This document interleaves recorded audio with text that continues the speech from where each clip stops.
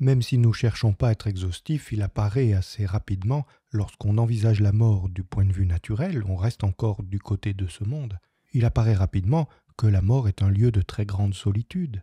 C'est quelque chose de très banal, de très commun, en ce sens que nous avons tous des vies extrêmement différentes, des itinéraires extrêmement différents, mais nous sommes tous mortels, nous mourrons tous un jour. Cependant, bien qu'elle soit commune, la mort touche chacun d'entre nous d'une manière unique, personnelle. C'est pourquoi chacun d'entre nous doit se préparer à sa propre mort. Elle sera tout aussi unique que nous le sommes.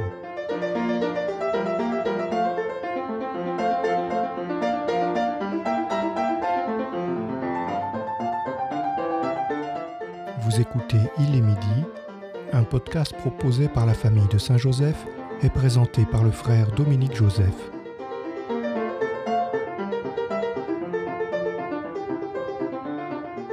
Et la mort, en ce qu'elle est unique, a quelque chose de grandiose. Il y a un contraste profond avec toutes les vanités, toutes les attitudes vides et fausses qui jalonnent nos existences.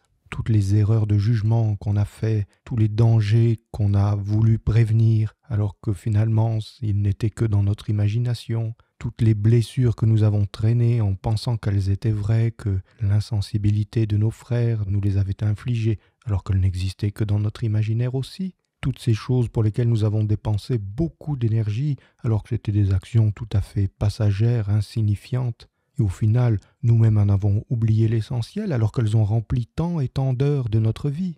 Eh bien, quand on se prépare à la mort, tout cela apparaît clairement, rapidement, distinctement, parce qu'elle a cette vertu de montrer en nous ce qui est authentique, ce qui a vraiment du sens, ce qui compte vraiment.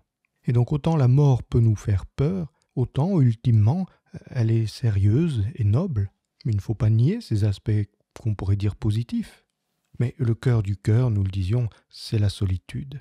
Le grand isolement, c'est ça qui est effrayant. Chacun de nous doit mourir de sa propre mort. On doit faire soi-même, par soi-même, sans espérer de compagnonnage humain. Bien sûr, encore une fois, nous sommes là uniquement du côté naturel, du côté surnaturel. C'est une grande joie puisque l'époux vient à notre rencontre. Dans la mort se trouve l'accomplissement de notre relation avec celui pour lequel nous avons été créés. Vient le temps de notre communion amoureuse avec Dieu, du face-à-face dans la lumière. Mais donc cette solitude est, si réelle, et elle semble tellement contre nature à ce que nous sommes, des êtres de relation, des êtres euh, faits pour vivre dans la communion de l'amour, qu'il n'est pas rare que des couples aient le désir un peu fou de, de mourir ensemble, fassent la prière de partir en même temps. Bien sûr, pour une part, c'est pour échapper à la séparation de la mort, au veuvage, mais surtout pour accomplir cet acte personnel, solitaire, définitif, ensemble. La littérature et la culture nous en donnent de nombreux exemples. On peut penser à Aïda, par exemple, de Verdi. Quand Radamès est condamné à mort, il est terrifié. Et puis quand il découvre qu'Aïda s'est laissé enfermer avec lui dans le tombeau, il se rend compte que sa peur de la mort était en fait liée à la souffrance d'être séparé de la femme qu'il aime. Et le voici transfiguré devant cette mort commune. L'exemple d'Aïda n'est certainement pas à suivre, mais elle nous montre que cette profonde solitude appelle une communion.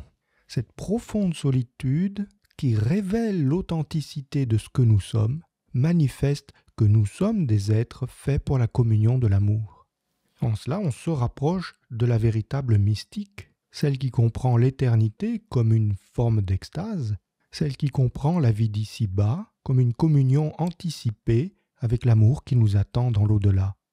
Frères et sœurs, il est midi, l'ange du Seigneur porte l'annonce à Marie.